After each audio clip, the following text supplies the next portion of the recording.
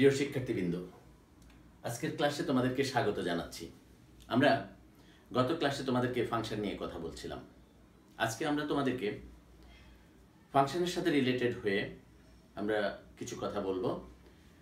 তোমরা দেখো, আমরা গত ক্লাসে যেভাবে অঙ্ক করেছিলাম, ধরো function x equal x square এখানে এটা একটা ফাংশন তখন আমরা সুতরাং ফাংশন ওয়ান সমান তুমি মান বের করেছ এক্সের পরিবর্তে ওয়ান বসিয়েছো ওয়ান স্কোয়ার সমান ওয়ান এখন আমার যদি ফাংশন এক্স সমান এভাবে থাকে, ধরো x square minus one x minus one সুতরাং ফাংশন ওয়ান সমান তোমার মানটা কত আছে দেখো one square minus one one minus one সমান জিরো বাই জিরো তাহলে জিরো বাই জিরো হলে রেজাল্টটা কেমন হবে? আমরা এটাকে বলছি অনির্ণয়। অনির্ণয়। এটা হলো অনির্ণয় বা ইনডিটারমিনেন্ট ফর্ম এটা নির্ণয়যোগ্য না। তাহলে আমরা কীভাবে মান বের করব? যেমন ধরো, এই অঙ্কটা, এখানে আমরা যখন এটাকে x plus one x minus one দিব, অর্থাৎ এখানে সূত্র ভাঙিয়ে নিলাম এ স্কোয়ার মাইনাস বি স্কোয়ারের সূত্র, তাহলে এক্স মাইনাস ওয়ান এখানে আসলো এক্স প্লাস ওয়ান মানটা এটা বাদ x minus x plus one সুতরাং ফাংশন ওয়ান ইকুয়াল এখানে ওয়ান প্লাস ওয়ান সমান টু দেখো ফাংশন ওয়ান সমান এখানে বের হলো টু আবার ফাংশন ওয়ান সমান বের হলো এখানে জিরো বাই জিরো অনির্ণয়। অনির্ণয় বের হলো। তাহলে, এখন আমাদের কি অবস্থা হবে? তাহলে দেখো ফাংশন ওয়ানের মান অনির্ণয়, আবার ফাংশন ওয়ানের মান টু এই অবস্থা থেকে মুক্তি পাওয়ার জন্যই আমরা যে যে কাজগুলো করব, সেটাই হলো লিমিট তাহলে লিমিটের কাজটা করতে হলে আমাকে কি কাজ করতে হবে? এই অবস্থা থেকে মুক্তি পাওয়ার জন্য আমরা লিমিট করি বা সীমাস্ত মান করি। তাহলে সীমাস্ত মানটা কেমন? যেমন ধরো এক্সের মান এখানে আমরা ধরেছি ওয়ান তখন আমরা এক্সের মান ওয়ান না ধরে ওয়ান থেকে ক্ষুদ্রতর মান ধরবো অথবা ওয়ান থেকে বৃহত্তর মান ধরবো। ক্ষুদ্রতর মান কতটুকু? ওয়ানের প্রায় কাছাকাছি। যেমন ধরো আমরা এক্স ইকুয়াল ধরে নিব ফাইভ পয়েন্ট নাইন অথবা point nine nine point nine nine nine তাহলে এক্স থেকে ওয়ান থেকে ক্ষুদ্রতর অথবা ওয়ান থেকে বৃহত্তর, কত ধরতে পারি? পয়েন্ট ওয়ান অর্থাৎ one point one one point zero one one point zero zero one ইত্যাদি আমরা মানগুলো ধরতে পারি। তাহলে মানটা কেমন আসে দেখো?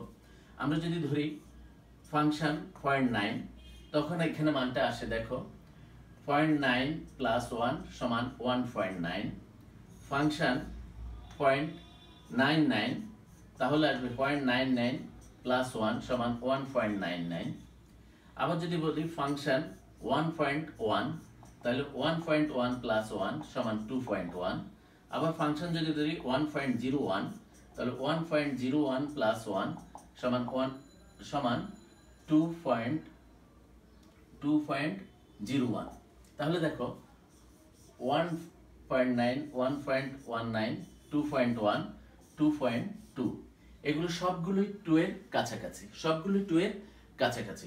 তাহলে আমরা এটাকেই বলব, যখন এক্সের মান ওয়ান থেকে ক্ষুদ্রতর অথবা ওয়ান থেকে বৃহত্তর মান নেওয়ার পর যে আরেকটা মান পাচ্ছি টু সেই টুর টুর কাছাকাছি মান পাচ্ছি টু এর কাছাকাছি মান পাচ্ছি। এই টুটাকে বলছি আমরা সীমাস্ত মান।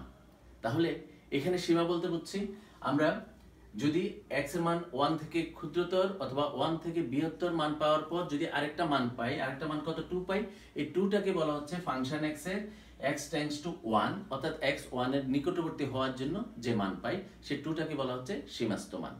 এটাকে যখন আমরা এখানে ধরো এ ধরে আমরা যখন করব, তোমরা খেয়াল করো,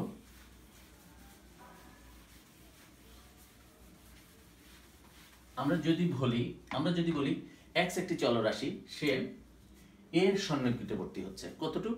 ক্ষুদ্রতর অথবা এ বৃহত্তর দিকে সন্নিকট হওয়ার পর যদি একটি ফাংশনের মান, একটি ফাংশন এক্সের মান যদি একটি নির্দিষ্ট সংখ্যা এল এর নিকটবর্তী হয়, তাহলে এলটাকে বলা হচ্ছে ফাংশন এক্সের সীমাস্ত মান। অর্থাৎ আমরা এটাকে কীভাবে ডিমিনোট করি দেখো?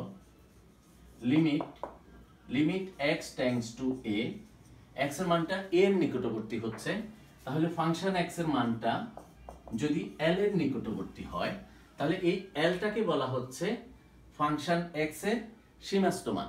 তাহলে এক্সের মানটা কত দিকে যাচ্ছে? এক্স টাইমস টু এ এখন যদি বলি আমরা ক্ষুদ্রতর দিকে যাচ্ছে, তখন আমরা বলব limit limit limit x tends to a negative function of x এ মানটাও হবে এল আবার limit limit x tends to a positive function of x এটাও হবে এল তাহলে এই অবস্থাতে যখন যাবে, আমরা ফাংশন এক্স দুইটার মানই সমান হবে। আমরা এটাকেই বলছি বাম সীমা বা রাইট হ্যান্ড লিমিট এটাকে বলছি আমরা বাম সীমা, এটাকে বলছি আমরা ডান সীমা অথবা রাইট হ্যান্ড লিমিট তাহলে এখানে যখন হয়, আমরা মানটা এমন আসে, তাহলে আমরা বলব যখন ডান সীমা বাম সীমা সমান সমান হবে, তখন আমরা ফাংশন বলব। এটা একটা ফাংশনের সীমাস্থ মান এলটাকে বলব। তাহলে এটাকে আবার আমরা লিখতে পারি। এই মানটাকে আমরা আবার লিখতে পারি এভাবে, দেখো। Limit limit h tends to zero function a minus h এটাকে আবার আমরা লিখতে পারি। Limit h tends to zero function a plus h অর্থাৎ আমরা ধরে নিব তখন, আমরা যদি এখানে ধরে নিই ধরে নিই x equal a minus h যখন এক্স টেন্ডস টু যখন এক্স টেন্ডস টু এ তখন এইচ টেন্ডস টু জিরো হবে। এইচ টেন্ডস টু জিরো হবে। অর্থাৎ আমরা যদি x এর পরিবর্তে এ মাইনাস এইচ ধরি এক্স টেন্ডস টু এ এর মান যদি এ বসাই তখন h টেন্ডস টু জিরো হয়ে যাবে। তখন আবার আমরা এই অবস্থাতে যখন হয়, তখন আমরা এই, এটাকে বলি ডান সীমা, এটা ধরি বাম সীমা। তাহলে আমরা আগে যে অঙ্কটা করেছি, দেখো, আগের অঙ্কটার দিকে দেখলে তুমি এখন বুঝতে পারবা। তাহলে কেমন আসছে? আমরা আগে যে অঙ্কটা ছিল, আমাদের ছিল ফাংশন এক্স আমরা যেটা ইনডিটারমিনেন্ট হয়ে গেছিল, অনির্ণয় হয়ে গেছিল। এই অবস্থায়। আমি যদি বলি এখন limit limit limit x tends to আমাদের ছিল one function of x equal ছিল।